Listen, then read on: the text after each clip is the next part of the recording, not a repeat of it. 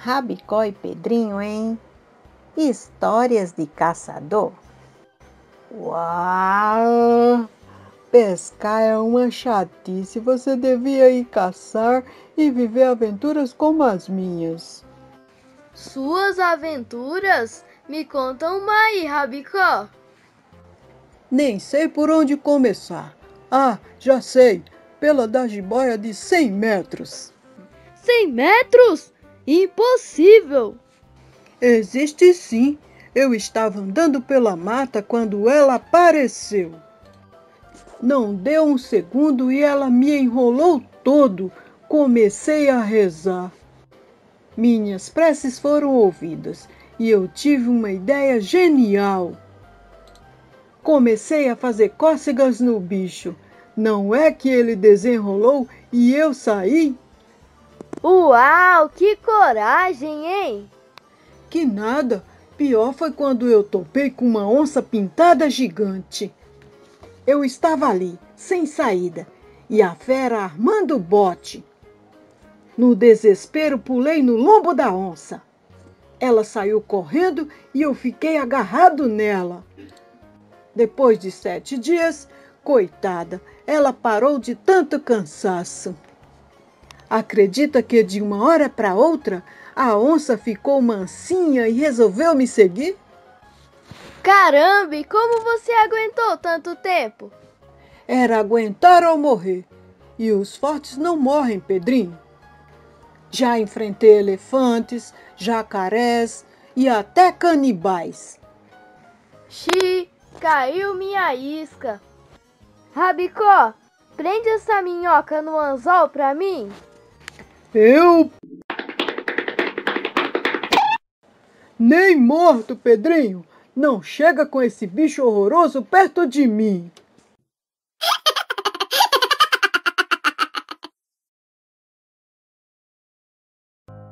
Emília em A Distância do Raio. Ah, eu não acredito! E tá chovendo! Isso significa que eu não posso sair para brincar, senão me molho todinha. Detesto ficar preso dentro de casa. Não tem nada interessante para se fazer aqui. Vai. Hum? Hã?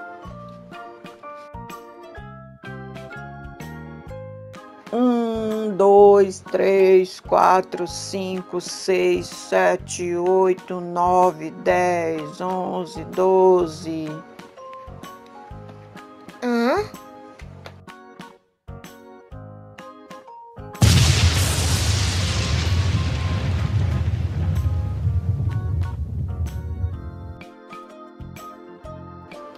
Esse raio caiu a quatro quilômetros daqui.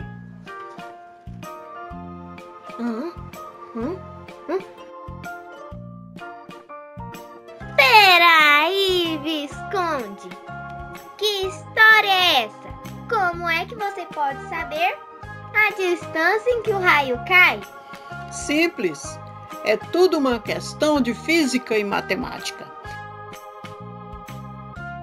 Você já notou que o trovão aparece depois que o relâmpago caiu?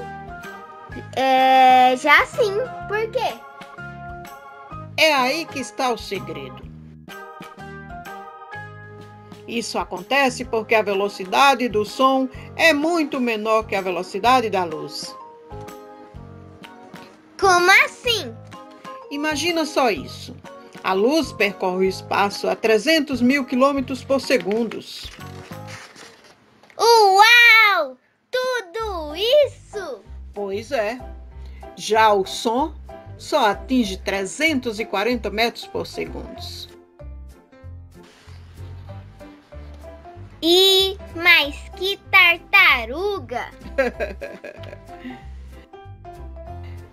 Se levarmos em conta que o som leva 3 segundos para percorrer um quilômetro,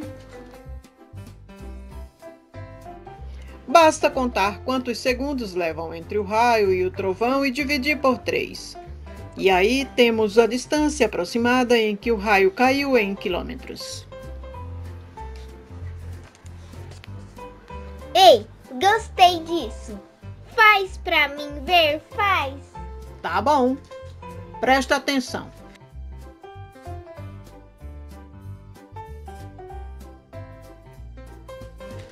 Um, dois, três, quatro, cinco, seis.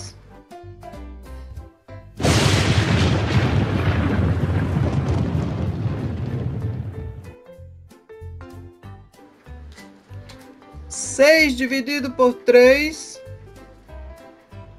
Dois. Então o raio caiu a dois quilômetros de distância. Oba! De novo! Tá. Aham. Um,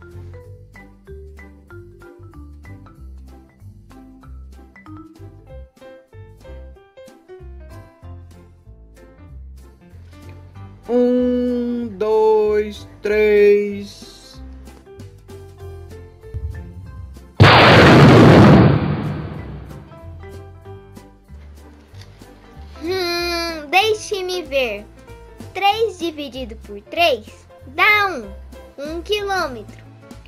Isso. Este foi mais perto. Ah, adorei essa brincadeira. Faz de novo. Tá bom, mas só mais uma vez, hein?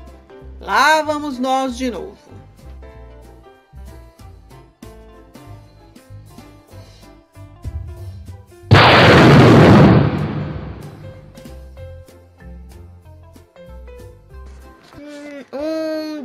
Dois, três, quatro.